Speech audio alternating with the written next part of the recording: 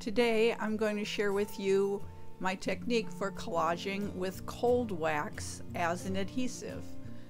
Later this week I will put the second layer on this collage which will be the colored cold wax that will be my paint medium. So stay tuned, here we go.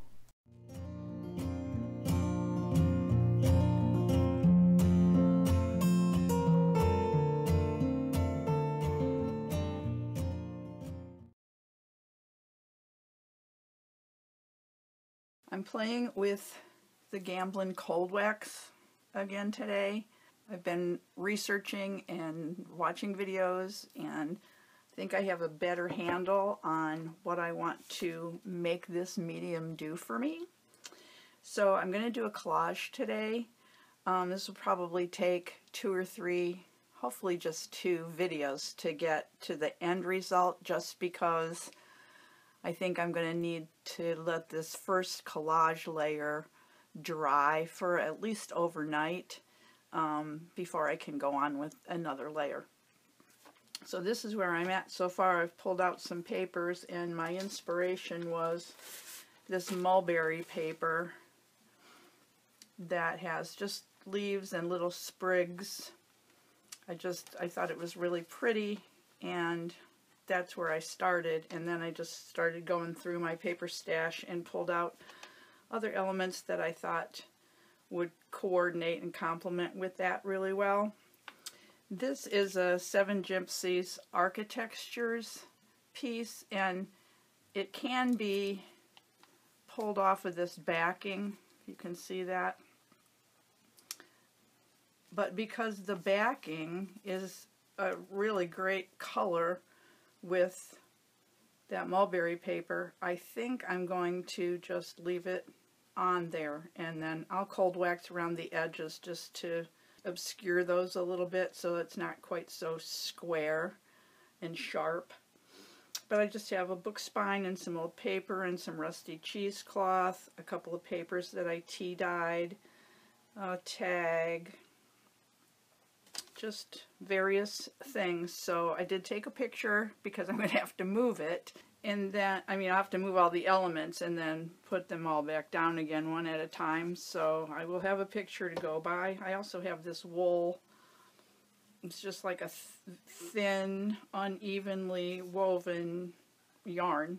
But the color was great with the cheesecloth. So I'm going to put that aside and show you my substrate.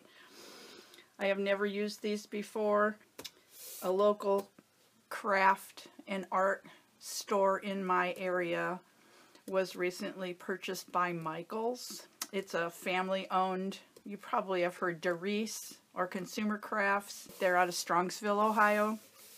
And I have bought for them, brought, bought from them since the early 80s when I first started painting.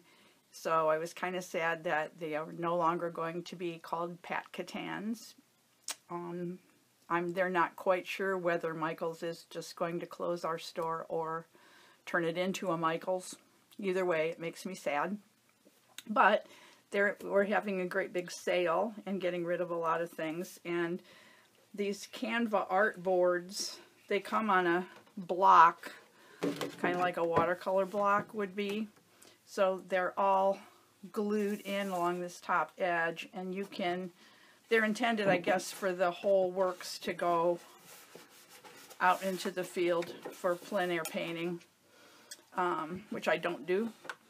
So you just take a razor blade or a craft knife and go underneath the adhesive and you can just take one off, which is what I did. But it has a nice texture. I'm not sure if the camera will pick that up or not and it's a nice size. The only drawback, the price was good, but the only drawback is there it's a little bit warped, just slightly warped, but I think we can probably bend it back into shape, which I will do before I start so I don't end up with a warped piece of art. But anyways, that's my substrate. That's what I'm going to start with. So I'm going to get everything off of that art board and laid out somewhere else and then I'll be back and we'll start putting this down. I'm going to use the cold wax as the adhesive to put the elements down on the board. Okay, I'm ready to put my base layer down and I've decided to tear up the rest of this piece of mulberry paper and use it as my first base layer just because if you can see that easier to see with white underneath it but right there it has actual plant material in it. And I just think that's really cool. So anyways and then this is the cold wax. It's just it looks like Crisco like shortening. So very soft very pliable. So I'm just going to spread it on and my papers on.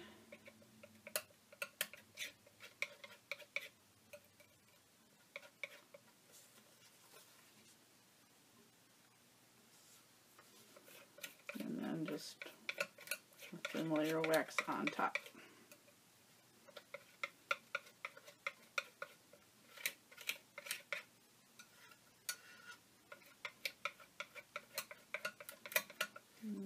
The edges down and all the bubbles out, just as if you were using glue, but we're using wax.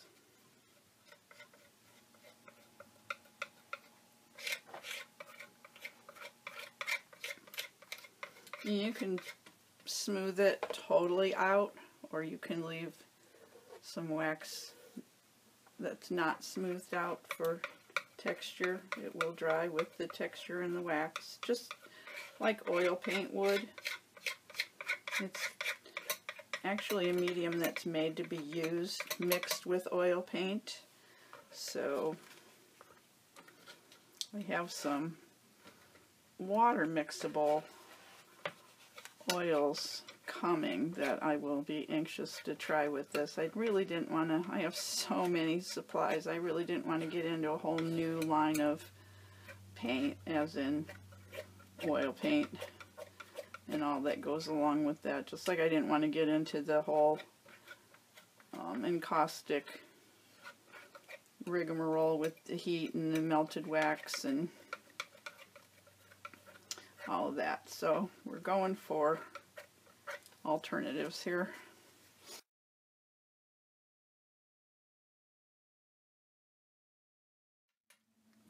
And you can use a bowl scraper. It works really well to smooth things out. It's also great for applying wax that's mixed with paint to get a nice thin transparent layer. I'm really hoping that you can see those little dark speckles there it's coming off of the little pieces of plants that's embedded in this paper.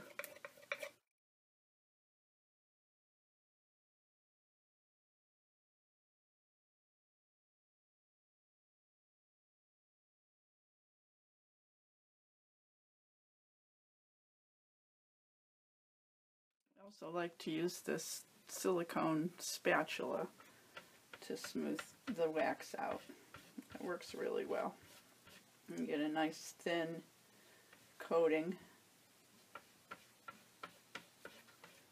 A nice thin layer. And see how much came up just by going back over it and smoothing it back out again. Oh, I lost my little piece there. Let's get that in there. Stay in there, little plant. It'll probably get covered up anyway, but we'll start with it.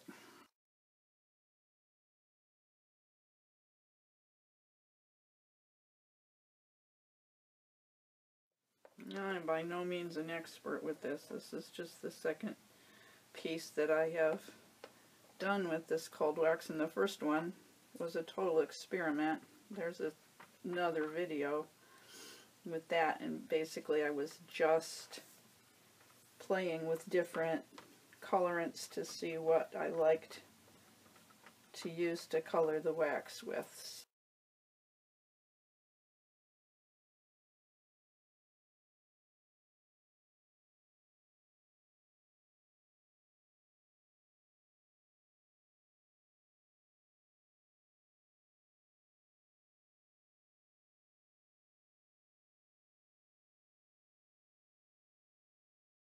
Edges of this mulberry paper literally disappear when I put the wax on top. Trying to be careful of the little pieces of plants in there so I don't obliterate them. Trying to put more wax on top so they're embedded.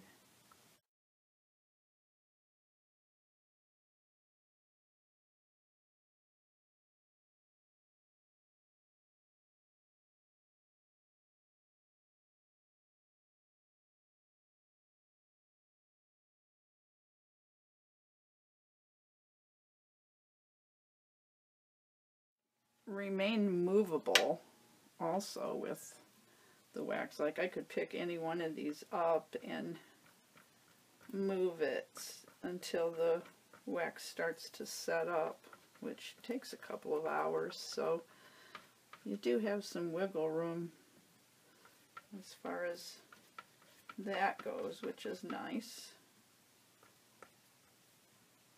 Unlike glues and adhesives in traditional collage.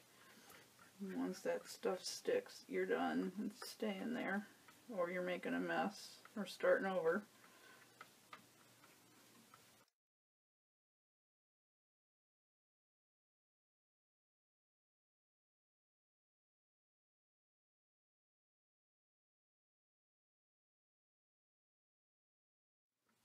see how that mulberry paper basically just melts into the other paper behind it. Love. I love it. I got it from Amazon. It wasn't. I think it was one of those Chinese companies. And when I order from one of those, and I've had good luck with almost everything I've bought from a non-name brand company through Amazon. I just make sure I use Prime when I buy it. Make sure it's a an item that is on Prime. That way if I don't get it or it comes and it's damaged, Amazon's really good about fixing things for you. But I really like this. It was a whole package. I think there were maybe eight different sheets in the package, different colors and textures.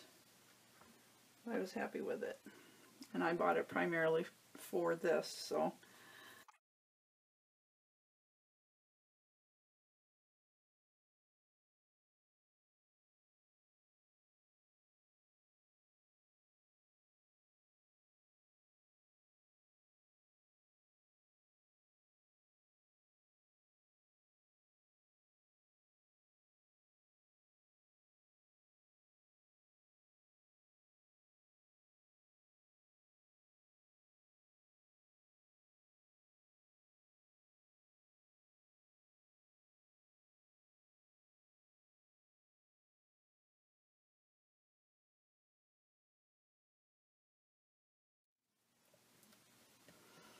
This paper is fairly thick. It was a piece of packaging from that bicycle architecture piece.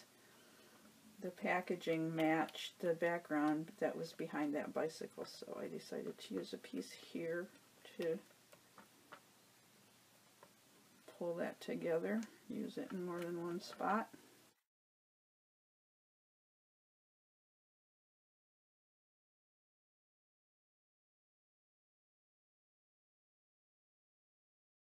Use a brayer to push the papers into the wax. I figured I have enough tools covered in wax today. I don't need to break out the brayer too, so. But that's also handy to use.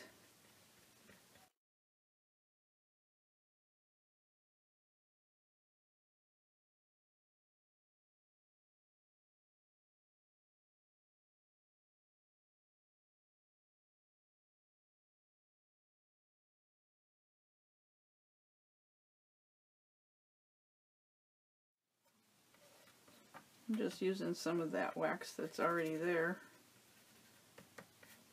to go over the top of this piece of paper. As everything's getting pretty waxy at this point. Alright.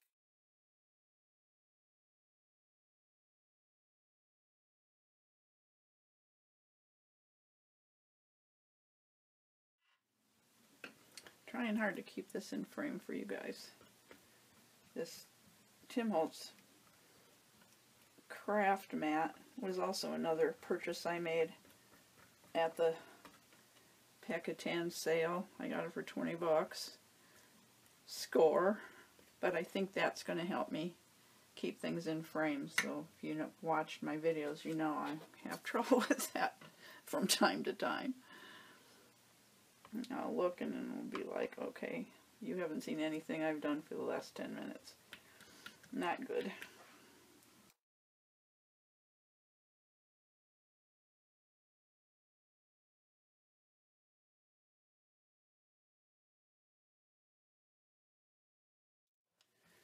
Yes, it's it was a magazine page that I tea-dyed and it's quite a wavy piece of paper buckly. I don't know how hard this is going to be to get it to stay down in that wax. It might not work. Which will make me sad because I really want it on here.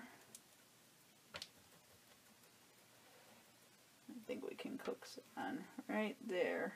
It's just it's like the paper was bubbled before I ever tried to put it down on the board. Now, little texture, right? As long as it doesn't come back up, which I don't think it will. The edges are down really well. We may have to live with that bubble in there because it's actually in the paper now.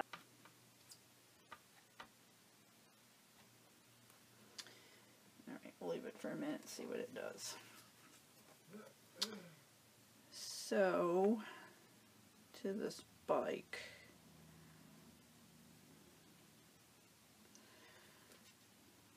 I take it off, I may not get it back on again, but I want to see whether I like it better with or without the backing. I know that's not where it belongs, but I, I, I think without. We can use little pieces of that backing other places. And it does have adhesive on the back. And I know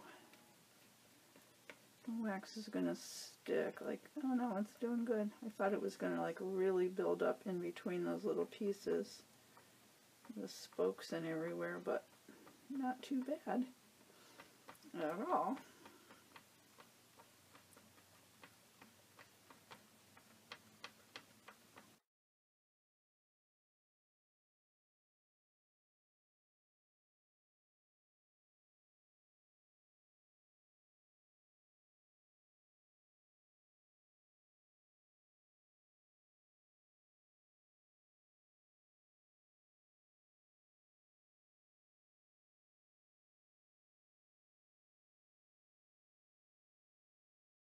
I love it when I find antique children's books, storybooks or whatever, because they often have songs in them, and then you not only get the illustrations and the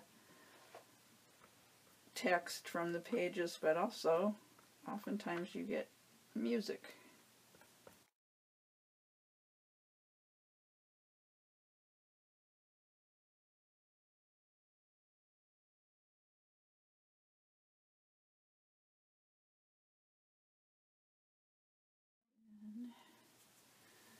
Almost done with the collage layers. Almost.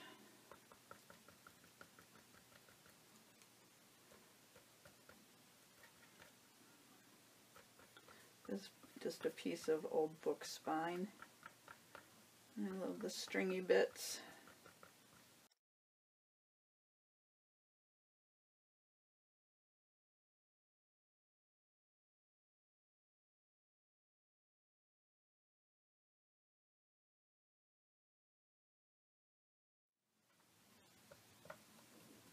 Cheesecloth. I just shredded it apart because I like the stringiness, the textural quality of it. I'm running out of wax and I'm almost done.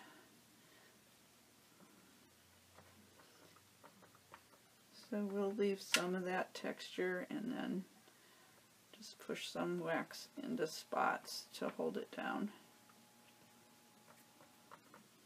Just like that. And I'm just not sure where I had that. I'll have to look at the picture. Well, I gotta get more wax because I need to put more cheesecloth down.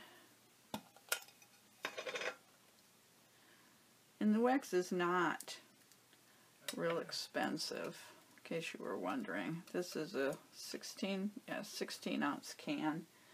This is the second time I've used it, and you can see it. I haven't had to use that much of it, and I think it was less than $20, so not too bad.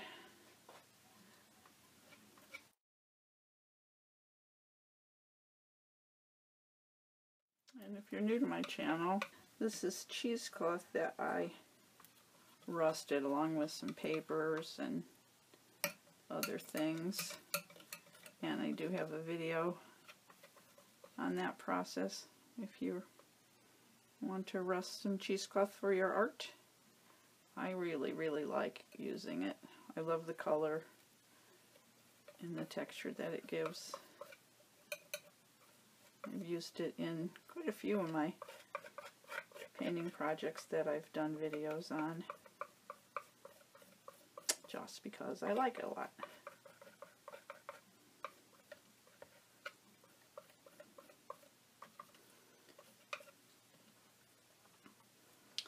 Okay, then I have this tag, but I think I, I need to do something on it before I glue that down, so we'll save that. And the only other thing I have left is this sticker quote. I cut it from a Jane Davenport packet of these little sheets. Also a Pat Catan slash Michaels on sale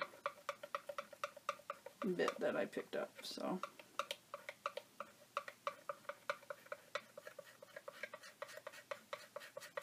That was unexpected. I didn't think I was going to be able to see through that. I kind of like that.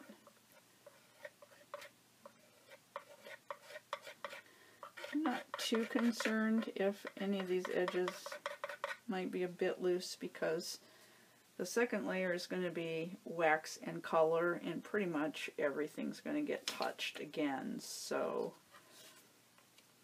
maybe this needs to be there. This is the lost piece. I'm not sure where it was to begin with. I'll put it here. Not that it has to be there, but why not, right? It's sitting right here. It may very well end up covered up anyway. And then I have another little piece. Um, no.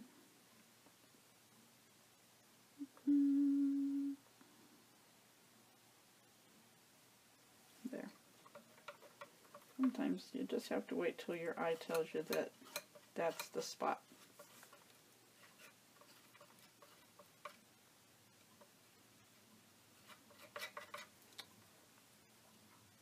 Okay, that's, oh, I have this 8 also.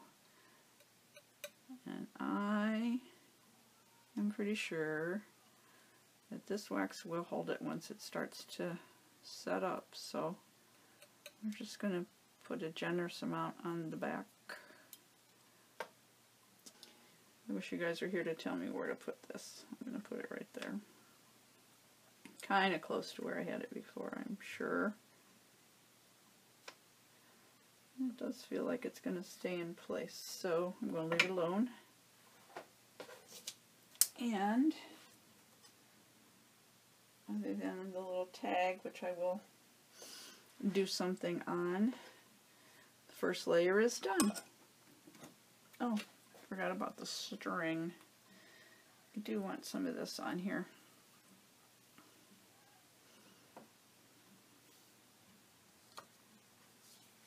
Move that before it gets wax on it and we won't be able to paint it. So I'm going to just wrap this to the back. I think I want two pieces of it.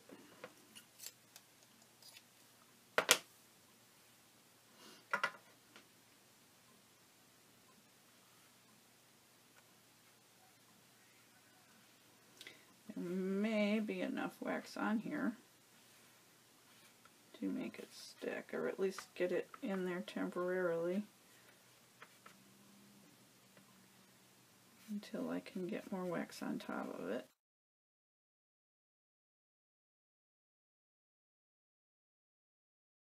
Coming to the end here, um, like I say, this is going to need to set up before I, I mean, I could immediately go with some paint layers now if I want to, but I prefer to let it at least set up overnight before I add the next layer. Just because I'm not real experienced with it and I don't want to mess up what I've already accomplished here. So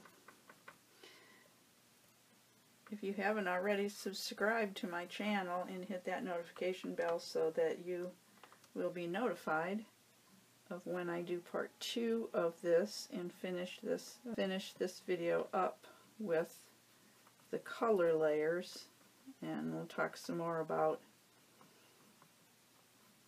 how to use the cold wax. I have some water soluble oil paint coming. You can use oil paint. It's formulated for oil paint or intended to use be used with oil paint.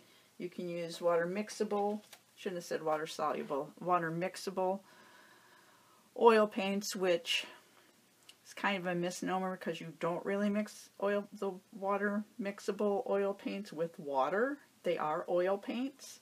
Um, the advantage is that they clean up with soap and water. You don't have to use any caustic solvents or anything for your cleanup. So I just got a very small set. I can mix colors with those. So hopefully that will be here maybe two in time to play with on this. If not, we'll do a different one. And I have some Gamsol coming. Gamsol, if you're not familiar, is an oil painting solvent.